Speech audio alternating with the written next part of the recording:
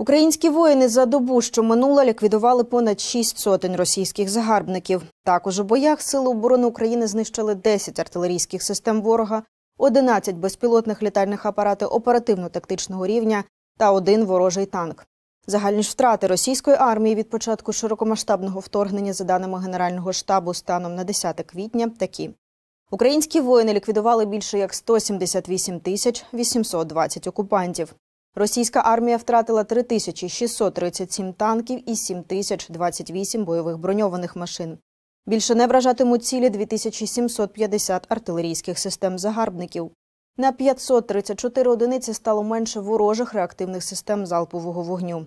Наші воїни вивели з ладу 282 засоби протиповітряної оборони ворога. Приземлили 307 літаків та 292 гелікоптери. Автомобільної техніки та автоцистерн у ворога поменшило на 5607 одиниць. Російська армія втратила 18 кораблів та катерів. Сили оборони України знищили 2323 безпілотних літальних апарати ворога та збили 911 крилатих ракет.